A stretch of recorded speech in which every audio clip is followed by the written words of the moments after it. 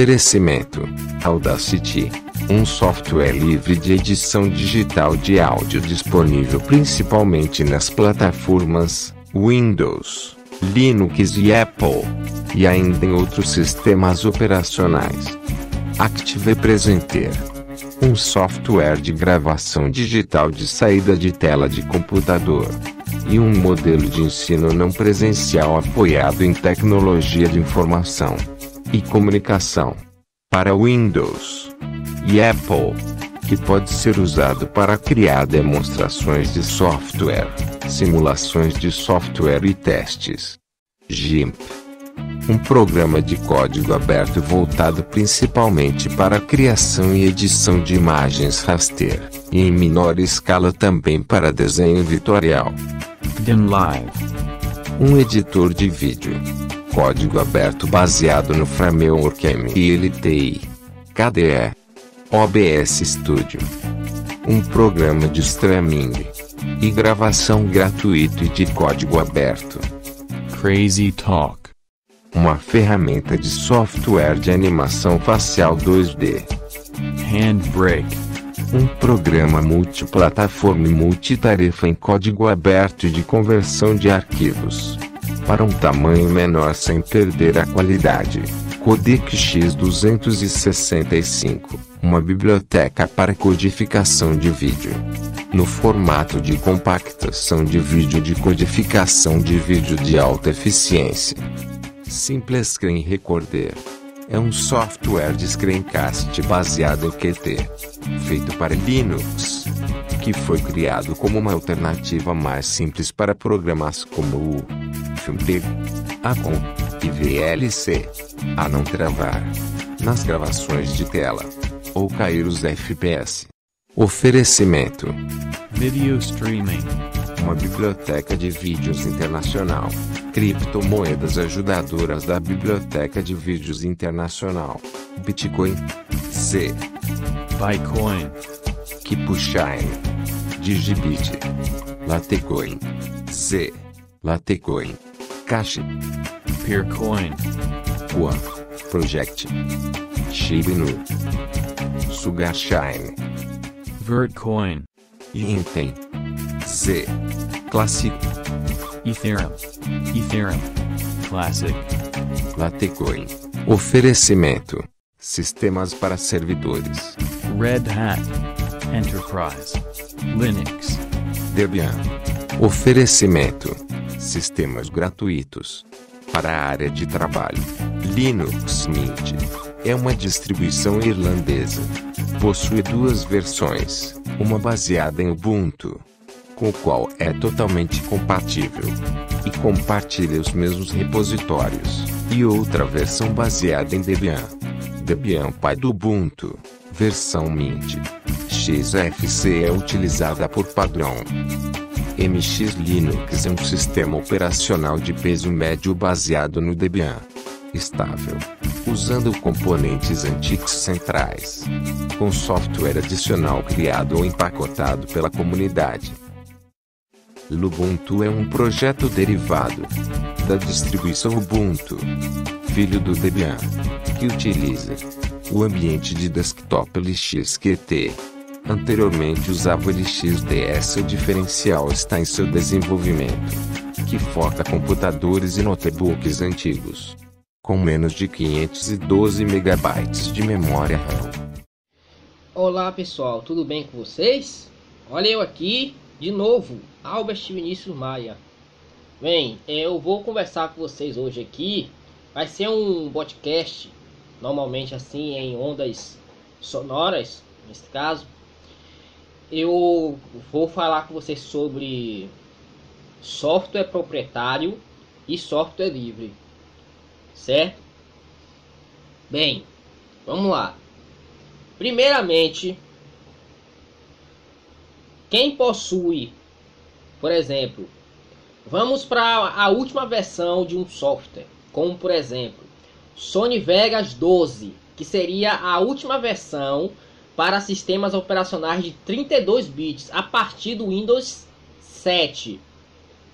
OK? Quem possui aí o, o sistema do Windows 7 32 bits ou então Windows 8 32 bits, o Windows 8.1 32 bits, ou então o Windows 10 de 32 bits, né?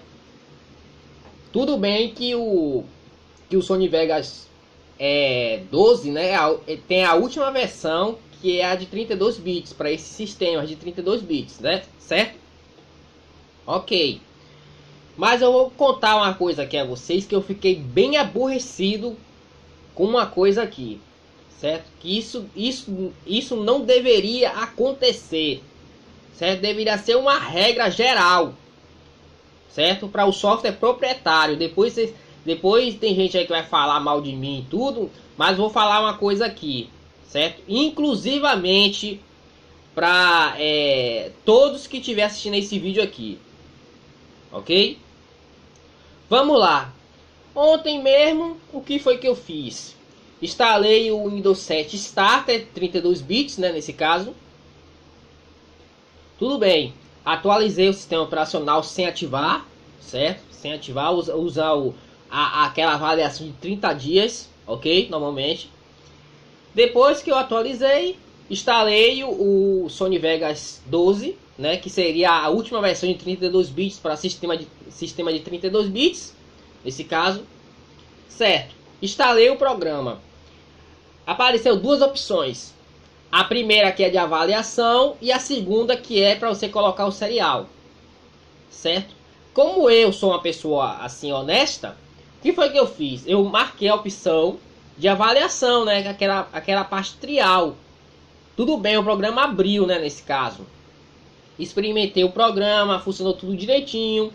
Aí eu fiz um teste para adiantar o tempo para acabar a avaliação, certo? Pronto. Aí quando acabou a avaliação, quando eu abri o, o software, né, nesse caso, apareceu aquela mensagem que o período de avaliação expirou, do Vegas 12 e tal. Aí deu a opção de comprar, né, que seria o certo fazer. Né? Eu sei que a Sony não está mais presente nesse, nesse, nesse programa. É uma, é uma tal de uma empresa que comprou a, o, o Sony Vegas, que é, é, completamente diferente, né? Aí o que acontece? Apareceu essa, essa mensagem para mim. O que foi que eu fiz? Eu cliquei para comprar o software, né? O, o, Sony Vegas de 32 bits. Aí o que acontece? O que, o que deveria aparecer para a pessoa? Aí quando abre a internet, aparece o Vegas, é, a versão mais recente para a pessoa comprar que, que, que isso tem, tem a ver, pelo amor de Deus? Tá vendo como são as coisas? Vocês aí que são da, da, da é, empresas proprietárias de software, vocês têm que prestar atenção no seguinte. Se vocês têm o último software que é compatível com 32 bits, vocês não deveriam tirar das lojas, certo? Olha o erro aí, ó. Aí o que acontece? Depois que a pessoa vê que não vai conseguir comprar essa, é, a licença originalmente pelo site oficial, aí o que, é que ela vai fazer? Ela vai tentar craquear o programa. Olha o erro aí, ó. Tá vendo o erro? É, é, fazendo a pessoa de idiota. Só pode, né? Vocês aí da, das empresas de software proprietário estão fazendo os clientes de idiota, né? Pois é. Aí o que acontece? Né? Acabou de avaliação, aí eu, eu, testei o programa tal, mas eu queria comprar a licença original do Vegas 12, né? Nesse caso, aquela versão Move Studio, alguma coisa. Aí por isso que eu entrei no site, não, não tem lá a versão 12. Eu sei que o Sony a, é, a Sony não está mais presente no Sony Vegas, que é uma outra empresa nesse caso, né? Tudo bem que eu posso até falar bem agora, porque a versão 18 é só para 64 bits. A partir da versão, ó, preste atenção, ó. As primeiras versões do Sony Vegas até a 12 tem de 32 bits. A 12 seria a última versão para 32 bits. A partir da versão 13 para cima já é 64 bits, não tem mais 32 bits. Aí o problema, tá vendo? Aí a pessoa vai querer comprar o, o, o Sony Vegas Pro 12, vai entrar no site oficial, no site oficial e, no, e não acha o software. Vai achar a versão mais recente. Aí ela não tem condições de, de, de atualizar o computador para uma versão mais nova, é, usar 64 bits. Tem gente que não tem dinheiro para nada.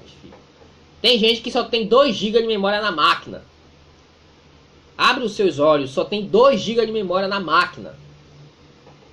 Tem gente que não tem. Ah, melhor nem, nem falar aqui para não, não comprometer é, alguma coisa aqui. Esse vídeo aqui ficar assim, sei lá. Certo? Aí, olha, vou dizer uma coisa a vocês. Quando a gente não conhecia as leis de direitos autorais, todo mundo já foi inocente aqui. Certo? Eu tô falando a verdade a vocês aqui. Todo mundo já foi inocente aqui. Não venha com essa aqui não, viu? Todo mundo já usou software pirata assim. Até eu já usei. No, no tempo que eu não conhecia as leis de direitos autorais e também aquelas, aquelas leis que, que craquear software proprietário seria um crime, né? Nesse caso, eu não conhecia isso, eu era inocente, eu não sabia nem o que era isso. Só fui me ligar quando completei 15 anos de idade certo? Hoje o que acontece? Eu posso até ensinar um software proprietário, mas tenho que clicar na parte de avaliação para mostrar a vocês como o programa funciona. Agora o erro que está aí é o que? O Sony Vegas 12, que seria a última versão de 32 bits para sistemas operacionais de 32 bits até o Windows 10, né? Porque a partir do Windows 11 só é 64 bits, né? Aí a pessoa quer comprar a licença original do Sony Vegas 12 e não vai achar no site oficial. O que, que ela vai fazer? Ela vai procurar na internet o serial pirata. Vocês estão entendendo a lógica agora? E vocês, esses softwares proprietários, já tinham que baixar o preço das coisas. Por exemplo, se um software é antigo, deveria baixar o, o, o valor dele. Né? Não, mas vocês não fazem isso. Vocês querem, ó, dinheiro, cada vez mais dinheiro, né? Nas suas contas. Não é verdade? É, eu sei disso. Aí o que acontece, gente? Eu, assim, eu ia ensinar o Sony Vegas é, 12, né? Para a versão de 32 bits para para o Windows 7 Starter, mas só que infelizmente eu não vou poder ensinar esse software, que seria a última versão de 32 bits para os sistemas do Windows 7, 32, né, nesse caso, porque o software não tem mais na internet para comprar. E se tiver, pode ser até pirata. Tá vendo como são as coisas? Eu tô indo contra vocês mesmo. Para vocês verem, para vocês sentirem na pele o que é. OK? Agora eu vou dizer uma coisa aqui. Se todo mundo tivesse o pensamento que eu tenho, a internet hoje seria uma tristeza. Por que seria uma tristeza? Porque só as empresas, como por exemplo, vou falar aqui, as empresas de música, com as, as gravadoras, né, nesse caso, as produtoras de filmes, só elas que poderiam postar as coisas. Só elas que poderiam postar. E às vezes elas não iam postar com má vontade. Certo? A internet ia ser uma coisa assim triste, né? Você não ia ver assim tanta gente colocando vídeo na internet se conhecesse a fundo a lei de direitos autorais, né? Pois é. A internet seria uma coisa muito triste. Você só ia ver poucos vídeos originais na internet. Se por acaso eu sei que eu já ensinei aqui na internet o Windows, né? Nesse caso assim, a instalação do Windows, né? Como, como se instala o sistema operacional e como se usa, né? Nesse caso. Bem, é, é o seguinte, eu tive que, na hora que, que pede o serial, não mostrar o serial. Porque as versões mais antigas do, do Windows não tem aquela parte de avaliação. Isso aí já é um erro da própria Microsoft. Desculpe falar. Mas os sistemas mais antigos, como por exemplo, do XP para baixo, não tem avaliação. E se tiver avaliação, pelo menos no Windows XP, pode dizer aí embaixo na descrição do vídeo. Porque assim, mesmo que a pessoa não coloque o serial, aquele Windows XP Home Edition, né? Quando coloca, você não consegue passar daquela parte do serial. Fica só dando, é, é, é pedindo para você colocar. Eu sei que quando a pessoa passa daquela dessa parte aí, o sistema inicia normalmente, aí aparece aquela aquela parte dizendo é, avaliação de 30 dias. Né? É isso. Eu acho que é isso. Bom, é o seguinte. Infelizmente, não vou poder ensinar o Sony Vegas e nem versões de softwares proprietários antigos, porque as empresas que deveriam deixar a última versão de 32 bits para os sistemas operacionais, o que foi que fez? Tirou das lojas. Tirou. Aí vai ter gente que vai procurar o serial, vai usar um programa craqueado, ou então vai usar um programa pirata. Aí depois, aí a culpa lá vai ser é, é dele lá, não tem nada a ver com isso. Certo? A minha parte eu estou fazendo. Entendeu? Agora eu vou falar uma coisa aqui. Quando tudo bem que quem tiver o sistema de 64 bits pode simplesmente instalar a versão mais recente do Sony Vegas. Você pode usar a avaliação de 30 dias conectado com a empresa, né, nesse caso. A empresa dá 30 dias ou é 15, parece, para você experimentar o produto, conectado com a internet. Ok? Quando acabar essa avaliação, você escolhe continuar usando o software para comprar ou simplesmente desinstalar da máquina. Eu não quero fazer o que? Fazer com que vocês instalem o Sony Vegas 12, utilize a avaliação, de, a avaliação trial dele quando acabar essa avaliação, desinstalar o programa. Não faz sentido isso. Se a pessoa quer usar o programa, ela, ela tem o direito de usar, né? Mas assim, ela tem que comprar o serial original do site oficial. Mas não vai achar. Isso que eu estou querendo dizer a vocês. Né? Então é isso aí. Agora eu vou falar, eu vou falar com vocês sobre o software livre, né? Software livre não posso nem é, falar mal dele porque sempre é, tem a, as versões né, para computador, a pessoa não precisa nem se preocupar com ativação, com serial, craquear, essas coisas. Software livre é completamente diferente, gente. Por exemplo, em comparação ao, ao Sony Vegas, que é do software proprietário, um software livre você pode usar o OpenShot ou então você pode usar simplesmente o shortcut ou o Caden Live, que seria a propaganda que aparece aqui nesse canal, a propaganda gratuita. Nesse caso, todas as propagandas que aparecem aqui nesse canal é gratuita, são os softwares que eu utilizo no meu computador, nesse caso. Ok? Beleza. Para Linux, é isso aí. Certo? Você pode até usar para Windows, etc. Ok? Aí você vai usar o software livre, não vai ter problema nenhum, certo? Você não vai ter problemas com, com leis de direitos autorais, porque o software é livre, gente. Saibam isso, o software é completamente livre. Entendeu? Eu espero que as empresas de software proprietários esteja assistindo esse podcast meu. Vou chamar a atenção de vocês, certo? Porque vocês não deveriam parar o suporte para um software de 32 bits que é a última versão para o sistema. Vocês não deveriam ter feito isso, certo?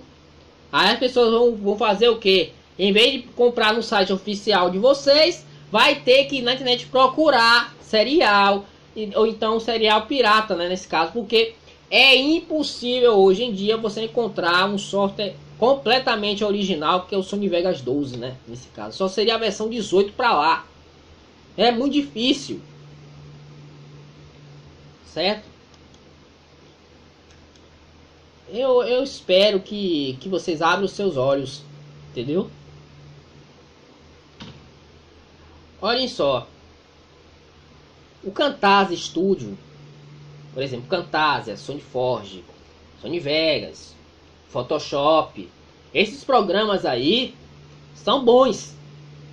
Só que infelizmente eu não vou poder ensinar a instalar eles e usar, e usar a versão trial.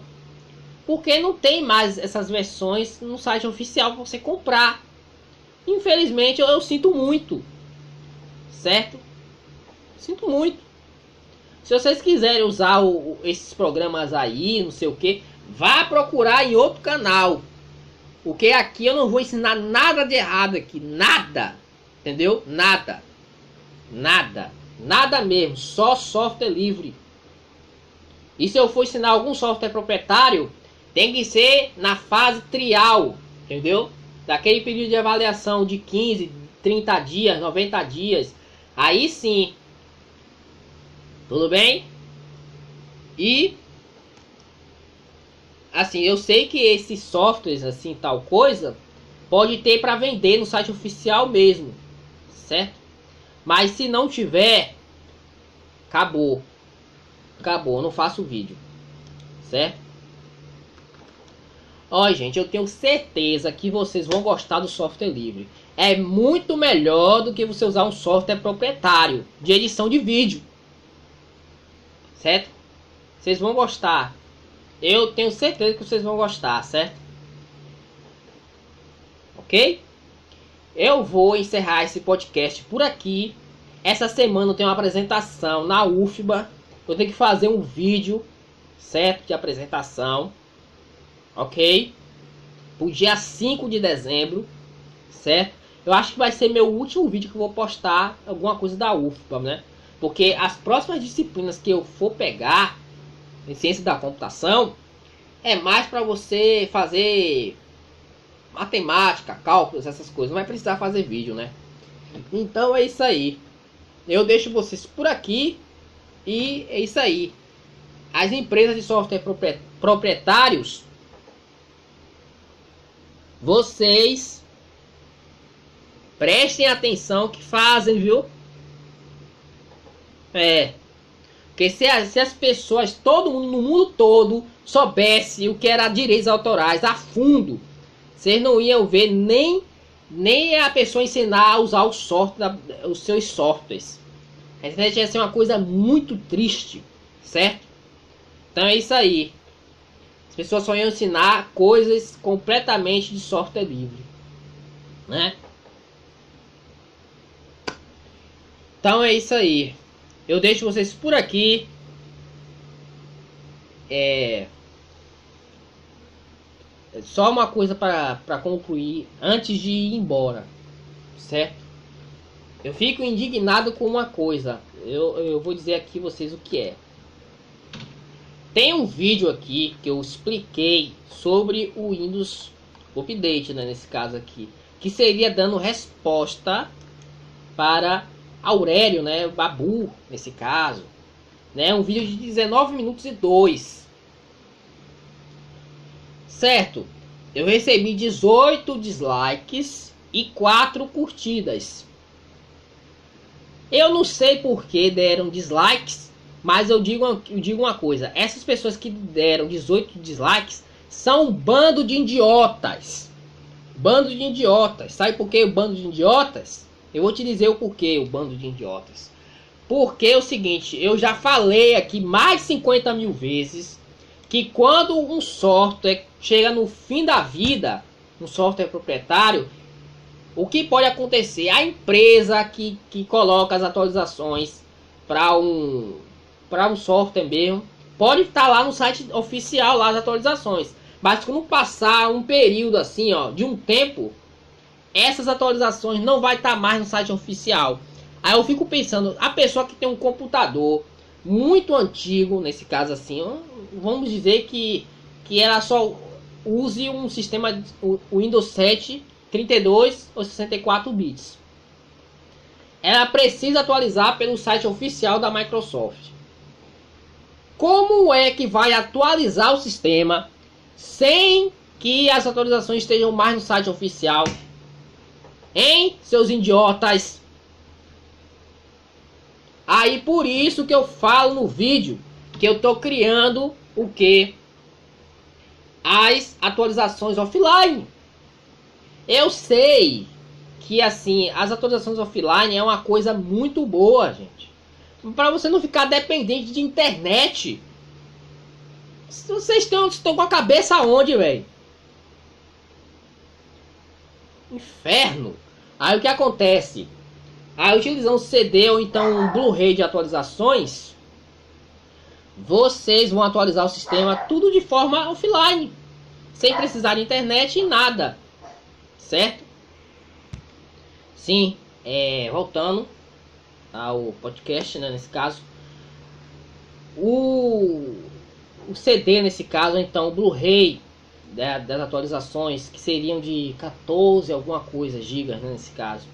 Aí você teria todas as atualizações do Windows completamente offline, certo? Não ia precisar de internet, você ia poder atualizar de forma offline. Você ia ativar o sistema se tivesse o serial original na sua própria máquina, certo? Meu incentivo é isso, certo? Porque eu sei que no futuro as atualizações desse sistema operacional vai sair, vai sumir. Entendeu? Vai sumir, vocês são idiotas. Para ficar só é, é, conectado à internet, pegando as atualizações. Oxi. Aí o que acontece aqui? Você mesmo tendo esse CD dessas atualizações, ou então do Blu-ray nesse caso assim, com todas as atualizações do Windows 7, certo? Você vai fazer o que? Você vai atualizar o sistema, mas o que você não pode fazer é o que? Colocar para vender. Isso que não pode, certo? Porque as atualizações pertencem à Microsoft e é de software proprietário, certo? Mesmo que sejam gratuitas. Entendeu? Certo, aí passam anos e anos e anos, você tá com esse CD de atualizações aí guardado. Aí quando passar um tempinho, não tem mais atualizações no site oficial. Como eu acabei de dizer, gente, o Sony Vegas 12, que seria a última versão para 32 bits, não tem mais no site oficial para a pessoa comprar, certo? E mesmo assim, que ela utiliza a, a avaliação trial, quando acabar, ela quiser comprar esse software, ela não vai conseguir. Só vai comprar a versão mais recente, que é 64 bits e é pesado. Então, é, vocês aí, vocês que, que votaram, colocaram dislike aí no meu vídeo sobre Windows Update a fundo, eu dando resposta ao Hélio, sobre a questão de, de atualizações offline, é, falando que não gostou tal coisa, vocês são os imbecis, são os idiotas, certo? Porque assim, no dia que vocês sentirem na pele, quando vocês forem atualizar o sistema operacional com internet, e não tiver nem, e não tiver as atualizações no site oficial, vocês vão entender o que eu estou dizendo agora, certo?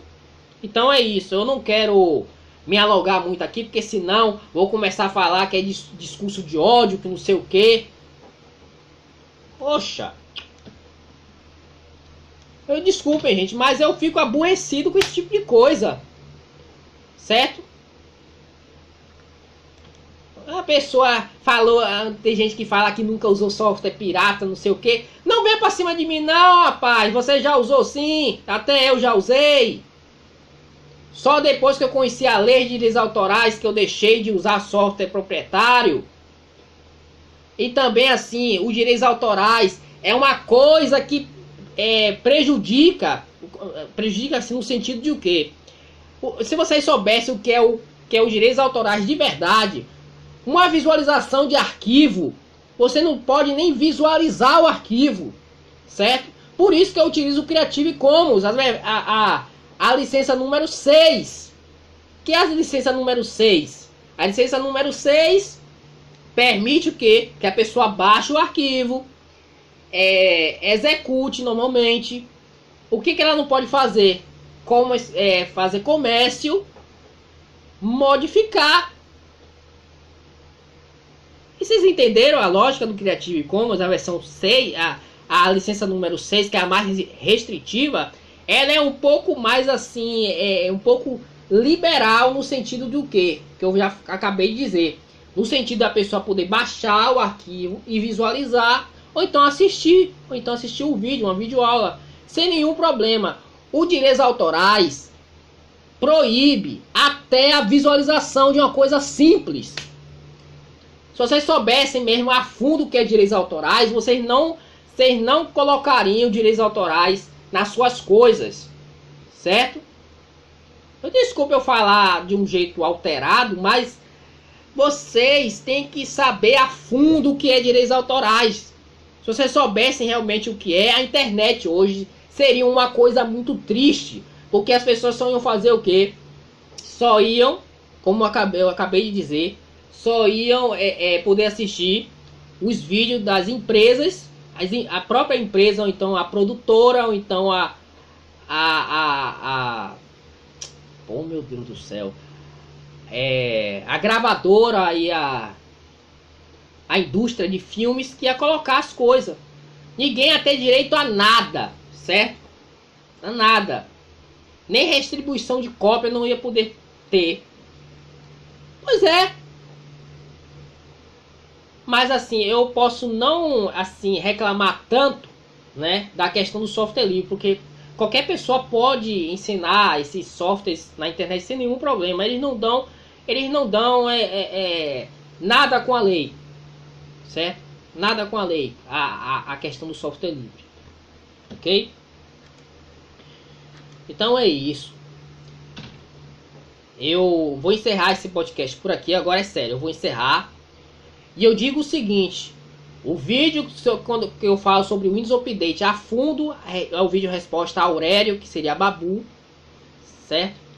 Os que deram dislikes são idiotas e são imbecis, né? Nesse caso. Porque, assim, eu vou dizer uma coisa aqui, eu não sei porque eu, é a primeira vez que eu, eu, eu, eu tenho uma rejeição de um vídeo aqui, mas eu não ligo para isso, certo? Eu vou dizer uma coisa a vocês aqui.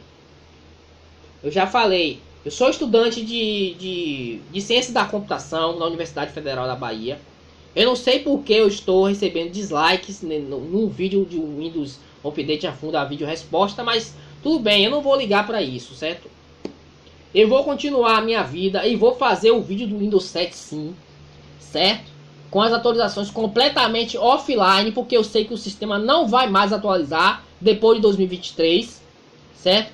E, e assim, se a própria Microsoft disser que ainda vai continuar dando suporte ao Windows 7 após isso, tudo bem, aí eu posso adiar mais um vídeo para para lá para data futura, né, nesse caso. Mas se eu tô vendo que vai acabar as atualizações, ótimo.